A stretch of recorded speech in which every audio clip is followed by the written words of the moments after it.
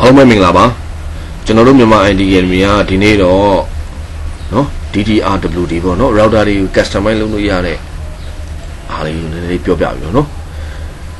DDRWD ဆိုတဲ့ဒီ website ရှိတယ်ပေါ့เนาะဒီ website မှာကျွန်တော်တို့ကဥမာကိုယ့်ရဲ့ router တွေကိုဥမာ TP link ပဲဖြစ်ဖြစ်ပေါ့เนาะတခြား link zip router တွေပဲဖြစ်ဖြစ်ပေါ့เนาะအဲ့ router တွေမှာသူကထုတ်ပေးတဲ့ firmware ကိုကျွန်တော်တို့ကတွားတင်လိုက်လို့ရပါပေါ့เนาะကိုလိုချင်တဲ့ပုံစံမျိုးပေါ့เนาะ router ပုံစံမျိုးကို firmware တင်လိုက်လို့ရတာပေါ့เนาะ ပြောချင်တာကတော့ဟိုသူ့ရဲ့ official ဟို firmware ကတော့မရှိတော့ဘူးเนาะကျွန်တော်တို့ဒါဒီ DDR တွေထည့်လိုက်တဲ့ firmware နဲ့အလုပ်လုပ်ရအောင်เนาะအဲကျွန်တော်တို့ဒီမှာ router database မှာเนาะကိုလိုချင်တဲ့မှာ supported device list တွေသူပေါ်ပြလာပြီဒါเนาะအဲဒီမှာเนาะကိုသက်ဆိုင်ရာ router တွေကိုဒီကနေ support ပေးတချို့ firmware တွေကြတော့သူကဝယ်ခိုင်းတာပေါ့เนาะ okay ကျွန်တော်ကအခုဒီဟာကိုဘယ်လိုမျိုးပြပေးမယ်ဆိုတော့ကျွန်တော်တို့ကဲเนาะ left လေးလာမယ်ចောင်းသားတွေပဲကတော့ကဲကို့မှာ router တစ်လုံးမရှိဘူးเนาะမရှိရင်ကျွန်တော် virtual box ရှိရင်ဒီ open open တော့ဖြစ်တယ်เนาะကျွန်တော် DDR DDWRD ပေါ့เนาะ DDWRD router ကိုကျွန်တော်တို့ virtual box မှာကျွန်တော် brand ပြမယ် okay ကျွန်တော်ဒီမှာတော့ RAM mode ကကျွန်တော် ready ပြင်ထားပြီသားเนาะကျွန်တော် DDRW router ကိုကျွန်တော် ready made run လို့ရအောင်ကျွန်တော် edit လုပ်ထားပြီသားဗောနော် okay အဲ router ရဲ့ဟို OS site လေးကဒါ headed site လေးကနော်7 9.3 9.73 megabyte လောက်ပဲရှိနော် okay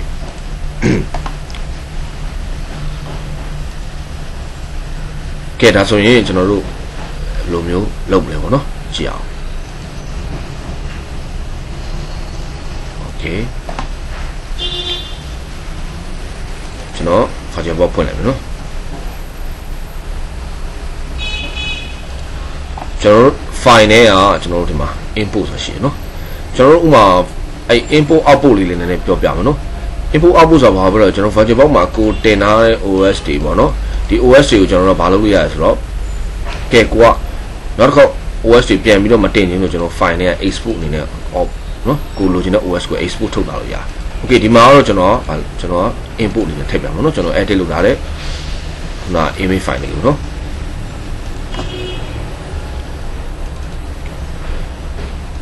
โอเคဒါဆိုရင်ဆိုရင်ကျွန်တော်ဒီ router လေးကိုကျွန်တော် next နဲ့ input လုပ်လိုက်ကဲဒါဆိုတော့သူက Linux version ကတော့ဟို2.6 version လောက်ပဲရှိတယ် interface network တွေကဒီ network တွေတုံးရင်ပို့အဆင်ပြေတယ်ကဲဒါဆိုရင်ဒီမှာ head ရပါတယ် ကဲလို့ head ဆက်ပတ်လမ်းကြောင်း change နေဆိုရင်တော့ဒီထဲ change ဒီမှာလာ change ပါနော်ကျွန်တော်တို့ဒီမှာမ change ပြတော့เนาะဒီတိုင်း default တိုင်းပဲဒါဆိုရင် MACD reanalyze ပြန်လုပ်လိုက် okay ဒါဆိုရင် import နဲ့ကျွန်တော်ထည့်လိုက်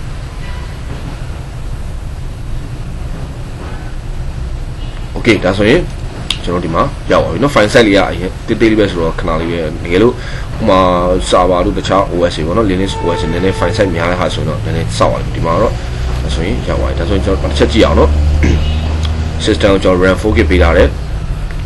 storage မှာခုနကျွန်တော်ထည့်လိုက်တဲ့ hard disk ကเนาะရောက်နေပြီကဲ network ကမှာ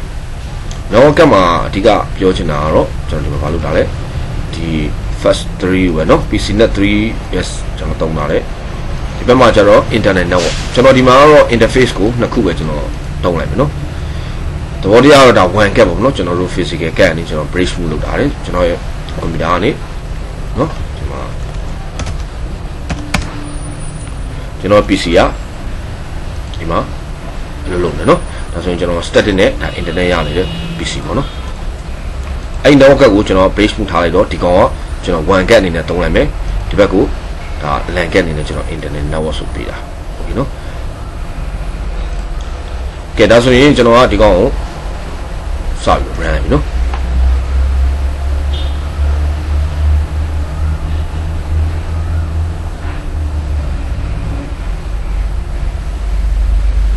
นาะโอเคဒီကောင် run နေတော့ကျွန်တော်တခါလဲ client လေးပါတခါလဲ brand ပဲเนาะဒီဘက်ကနေ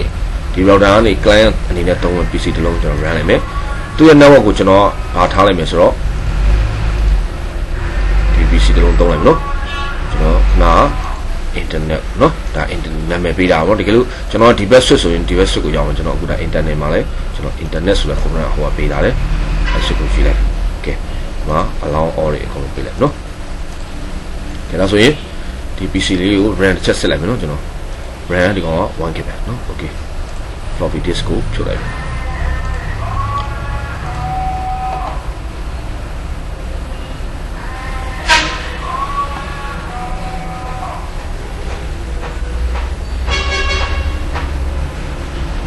ကဲဒါခဏလေး window run နေတယ်ခဏကြည့်အောင်နော်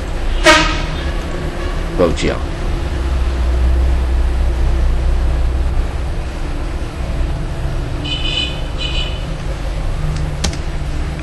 okay ဒါဆိုရင်တော့ router run နေပြီတကယ် default ကတော့ root ပေါ့နော် password ကတော့ m နဲ့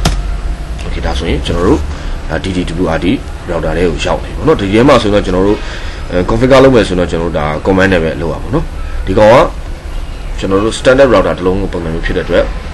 IP ကတော့ default IP က192.168.1.1နဲ့ကြာနော် okay ကြည့်အောင်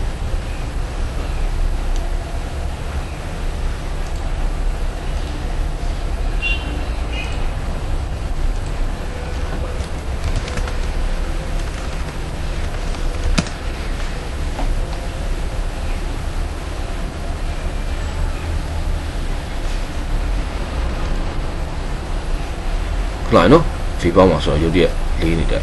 နောက်ဆောင်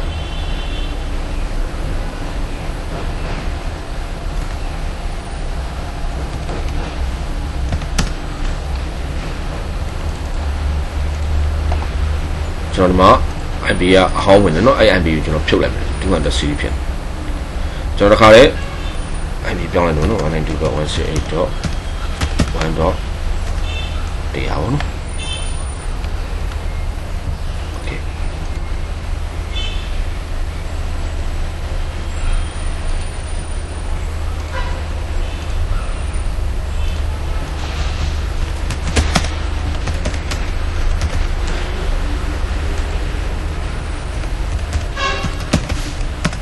okay เนาะဒါဆိုရင်1.1ကိုကျွန်တော်မိနေပြီကျွန်တော်ဒါ LAN ကက်ကနေပြီးတော့ router ကိုပင်းလိုက်တာပေါ့เนาะ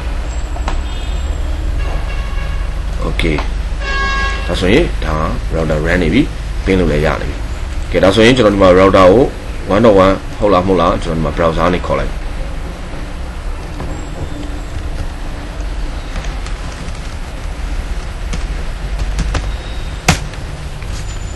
နော်ဒါဆိုရင်ကျွန်တော်တို့အခုမြင်နေရတာကတော့ဒါ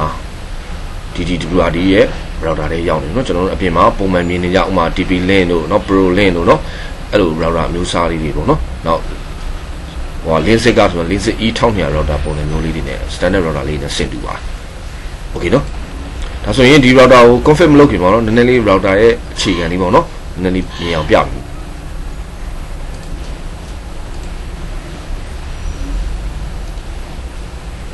ကြည့်အောင်เนาะ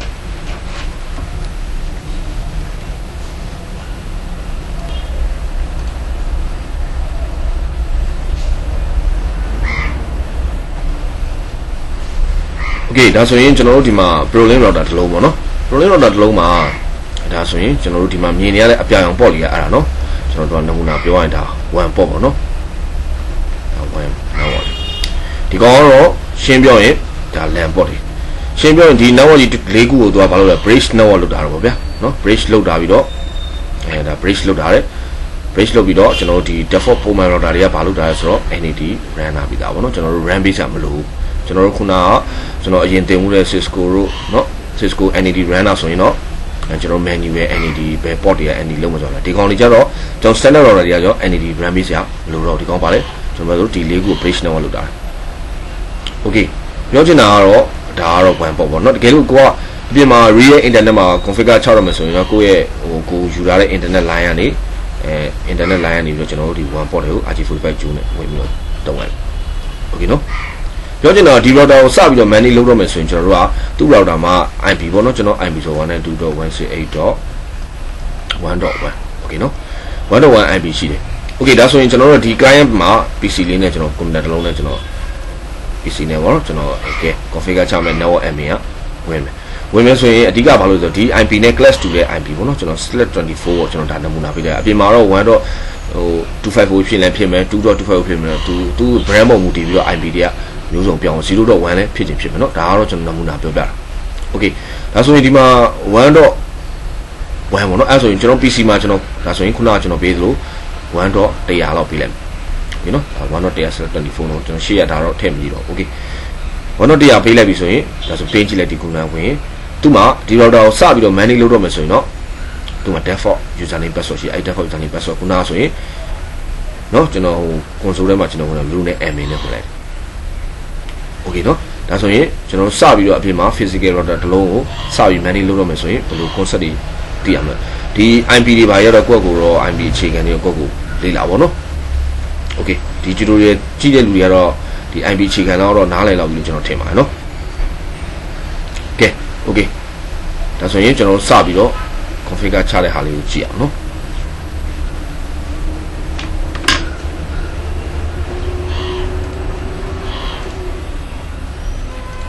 ကဲကဲဒါဆိုရင်ကျွန်တော်တို့ဒီမှာ router တဲ့ current password မရှိဘူးเนาะ password ကဟိုဟာဖြစ်နေတယ်တဲ့ကျွန်တော်တို့ password ပြောင်းပါတယ်ဒါကျွန်တော်ပြောင်းလိုက်မယ်เนาะ ပစောကိုချိန်ပစောလုပ်လိုက်ကဲဒါဆိုရင်ကျွန်တော်တို့ကကို PC မှာပေါ့နော် RAM 8GB လောက်ရှိတယ်ဆိုတော့ဒီ lab လေးကိုကောင်းကောင်းဆန်ရိုင်းကွက်ကို router တစ်လုံးကိုထည့်ပလိုက်ထည့်ပြီးကျွန်တော်တို့ပုံမှန် standard router တစ်လုံးကို lab လုပ်လို့ရနော်အဲဒါဆိုရင်သူရဲ့ password ခုနကျွန်တော်ပြောင်းလိုက်တဲ့ password ဟာလည်းပြန်ဝင်လိုက်ကဲဒါဆိုရင် router လေးကိုရောက်သွားပြီကျွန်တော်ခုနပြောသလို router မှာခုန 1ဘိုင်းရှိတယ်เนาะ1 port ကခုနအပြန်အောင်လို့ဒီမှာကတော့ port တွေတော့မမြင်ရဘူးเนาะဒါပေမဲ့သဘောတရားကိုကျွန်တော်ခုနမြင်အောင်ပြောပြတာ okay ကျွန်တော်တို့ WAN ကို internet ရဖို့အတွက်အရင် setting ချပြရမယ်။ Okay နော်ကျွန်တော် virtual box မှာဘာလုပ်တာလဲဆိုတော့ခုနက WAN get ကိုကျွန်တော်ဒီမှာနော် WAN get ကိုကျွန်တော်ဗာပြလာတယ် physical computer နဲ့နော် network cable နဲ့ကျွန်တော် bridge မှုထားတာနော်။ခေဒါဆိုရင် bridge မှုထားတဲ့အတွက်ဒီမှာတော့ WAN connection type ပါပဲ disable ဖြစ်နေတယ်တဲ့။ဒါဆိုရင်ကျွန်တော်ဘာလုပ်လိုက်မလဲ။ WAN မှာတော့လားဒါဆိုရင်ကျွန်တော်တို့အပြင်က fiber router တွေဆိုရင်တော့ PPOE နဲ့ username password နဲ့ log in ဝင်ရလိမ့်မယ်။ Okay ကျွန်တော်တို့ကဒီမှာကတော့ဒီ laptop ဆန်းလို့မရဘူးပေါ့နော်။ဒါဆိုရင်ကျွန်တော်တို့ဘာလုပ်မလဲဆိုတော့ကျွန်တော်တို့ကပုံမှန် router တွေမှာစဉ်းစားလိုက်ပေါ့နော်။ကျွန်တော်တို့ computer တွေမှာ IP ပေးသလိုဗျာ static ရှိရင်ရှိမယ်။အဲ DHCP ရှိရင်ရှိမယ်နော်။နှစ်မျိုး static ဆိုတာ manual ထည့်တာ DHCP ဆိုတာ router နဲ့ auto ချပြ။ကျွန်တော်ကဒီမှာကျွန်တော်ဟိုမှာ one gig ကို bridge မှုထားရတယ်ကျွန်တော်ရဲ့အပြင်က real router ဒီမှာ DHCP တောင်းလိုက်ကျွန်တော် IP auto ကျလာတယ်။ Okay နော်။ဒါ router ရဲ့ name Okay name ကိုတော့ကျွန်တော်နာမည်ပေးလိုက်ပါတော့။ Okay မြန်မာ ID ကကျွန်တော်တို့ရုံးနာမည်ပေါ့နော်။ host name host name ပေါ့နော် ISP လို့ပဲနာမည်ပေးလိုက်မယ်နော်။ Okay ဒါ domain name domain name ကတော့ကျွန်တော်တို့ရဲ့ website လေးပဲထည့်လိုက်နော် Okay ကျွန်တော်ဒါဆိုရင်ဒီမှာကတော့ကျွန်တော်ဗာထားမယ် automated နဲ့ထားလိုက်မယ် Okay ဒါ router ရဲ့ IP က1.1 Okay gateway เนาะကျွန်တော်ဒီမှာ IP ပြောင်းချင်လဲပြောင်းပါเนาะကျွန်တော်တို့ဒီမှာ default IP လာမယ်ပြတော့เนาะ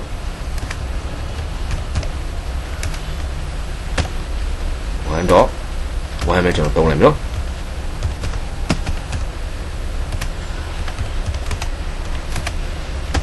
โอเคဒါဆိုရင်ဒီမှာဒါ LAN network ပိုင်းရောက်ပါပြီเนาะဒါ1မှာကျွန်တော်တို့ကဒါပါထားလိုက်ဆို DHCP ထားလိုက်ပြီကဲဒါကကျွန်တော် router name နဲ့ host name တွေပြင်လိုက်တယ်ဒါဆိုရင်ဒီမှာ DHCP ချရမယ်တဲ့เนาะကျွန်တော် DHCP ချမှာလားတဲ့ဒါ DHCP server enable လုပ်တာโอเค DNS မှာတဲ့ဘာသုံးမလဲတဲ့ကျွန်တော်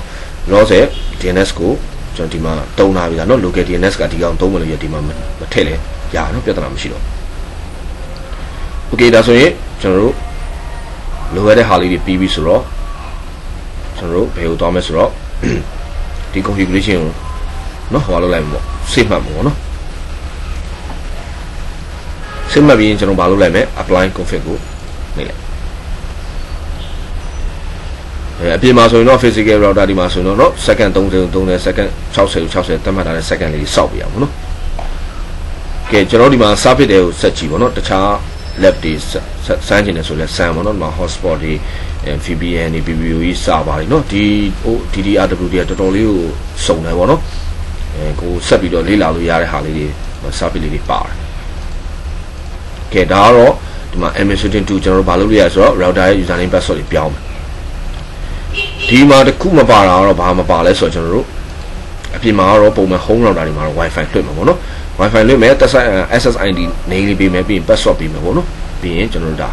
အဲပုံမှန်ရုံသုံး home router လေးတစ်လုံးရရောနော်ဒါဆိုရင်ကျွန်တော် status ကိုတွားကြည့်အောင်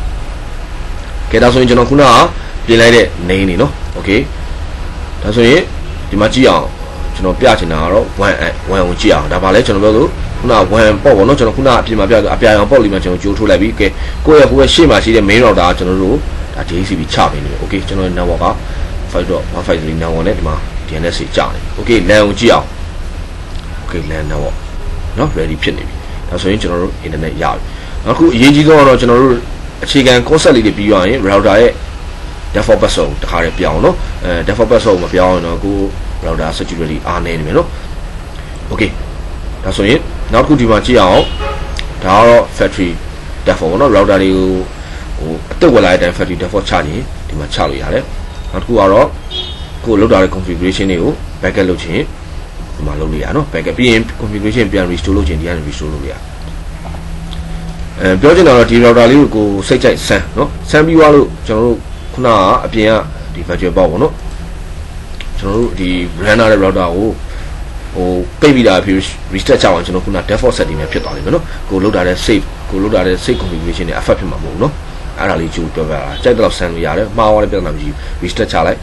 အဲဒါဆိုရင်သူကပုံမှန်တိုင်း default setting ပြန်ဖြစ်သွား okay နော်ကဲဒါကတော့ပုံမှန် router တစ်လုံးကိုဝယ်စရာမလိုပဲပေါ့နော်ကျွန်တော်တို့ lab တွေလုပ်လို့ရအောင်ကျွန်တော်တင်ပေးတာပေါ့နော်တကယ်လို့ဒီ router image ကို လိုချင်တဲ့လူတွေကိုကျွန်တော်တခါတည်းကျွန်တော်တို့ရဲ့ထုံးစံတိုင်း tutorial ရဲ့ description အောက်က link ထည့်လာပြီမယ်ကျွန်တော် blog မှာလည်း link ထည့်ပေးလာပြီနော် okay ကဲဒါဆိုရင်ကျွန်တော်တို့ကဲကိုလိုတဲ့ configuration မှန်လားမမှန်လားကျွန်တော် internet ထွက်ကြည့်လိုက်ပါဦးနော်ဒါဆိုရင်ကျွန်တော် IP ကိုခုနက local IP ပေးတာလေဒီမှာကြည့်လိုက်ကျွန်တော်တို့ဒီတိုင်းဆိုရင်တော့ internet မထွက်နော်ဒါ internet ထွက်အောင်ကျွန်တော် IP ပေးလိုက်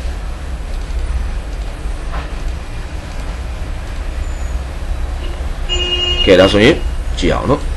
ကျွန်တော်ခုနက DHCP ချတာဗျာနော်ဒါဆိုရင်သူကြာပါပြီကြည့်အောင် Okay ကျွန်တော် 1.net network နဲ့ချလာတဲ့ DHCP IP ကိုကြာတယ် Okay ချက်ကြည့်အောင်နော်ဒါဆိုရင်ကျွန်တော်ဒီမှာ basic set တွေကိုတက်ပြန်ကြည့်မယ်ကျွန်တော်1.1နဲ့ချလာတဲ့ subnet က /24 ပဲသုံးတာတဲ့ gateway တွေ DNS တွေ Okay ဒီမှာ DHCP server 100ကနေ50ပေါ့နော်အဲ တရားတတရားနှစ်ကအားလုံးပေါင်းပါအလုံး90တာကျွန်တော်ချလာပြီโอเคနော်ဒါဆိုရင်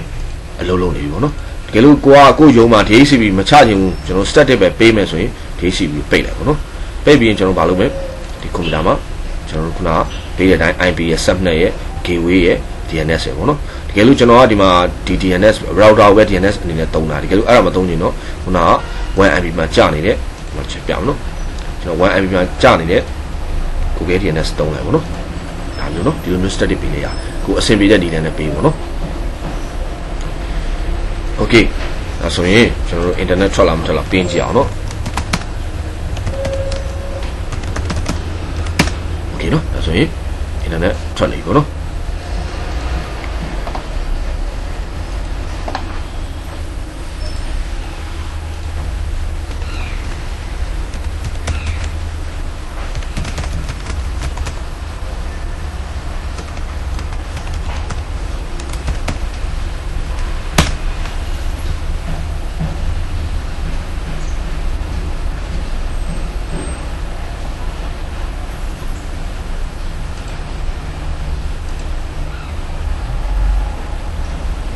ကဲ နော်ဒါဆိုရင်ကျွန်တော်တို့အရင်ဆုံးမလုပ်လဲ router မှာကျွန်တော်တို့1ကိုတကယ်လို့ router ရဲ့1ကို static ထားခြင်း static နဲ့ရေး static ရွေးရွေးပြီးရင်ကျွန်တော်ခုနပြောလို့ဒီမှာ1 IP ကျတဲ့ပုံစံတိုင်းအောင်ပဲကျွန်တော်တို့5 network ကိုကျွန်တော် static နဲ့တုံးလို့ရပါဘောနော်အဲဒီမှာ bandwidth တွေလည်းဟိုပြတယ်ဗောနော်ဘယ်လောက် kilobyte second တွေဝင်နေလဲဒါ system info နော်ဒါ router ရဲ့ information ပြတယ်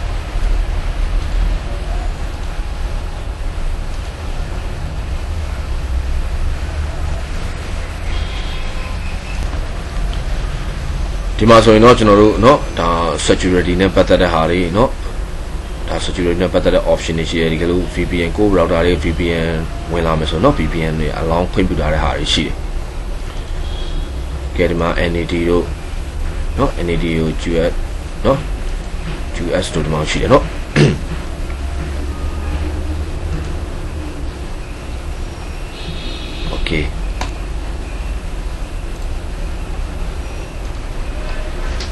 ဒီလောက်ဆိုရင်တော့เนาะကျွန်တော်တို့ပုံမှန် standard router တစ်လုံးလေးကိုလည်း config လေးတွေမြင်သွားမယ်အဲကျွန်တော်တို့ကိုယ့်ကို lab ဆန်းနေတဲ့လူတွေကလည်းเนาะ DDRWD เนาะဒီ router ကိုကျွန်တော်တို့ virtual box မှာ run ပြီးတော့ဆန်းလို့ရတဲ့ဟာလေးကိုကျွန်တော်တင်ပေးလာခဲ့ပါတယ်ဒီ router image ကိုလည်းကျွန်တော်ခုနကပြောခဲ့တဲ့အတိုင်းပဲเนาะကျွန်တော် upload လုပ်ပေးတာမယ်เนาะ YouTube ရဲ့ description အောက်မှာလည်းရှိသလိုကျွန်တော်တို့ကျွန်တော်တို့ website မှာလည်းကျွန်တော် post တင်အဲ့ဟောဝင်ဖတ်ပြီးတော့ download ဆွဲလိုက်ရပါတော့เนาะ ကဲဒါဆိုရင် tutorial လေးကိုဒီနားလေးပဲနားမယ်ကြည့်ရှုသူအားလုံးအထူးကျေးဇူးတင်ပါတယ်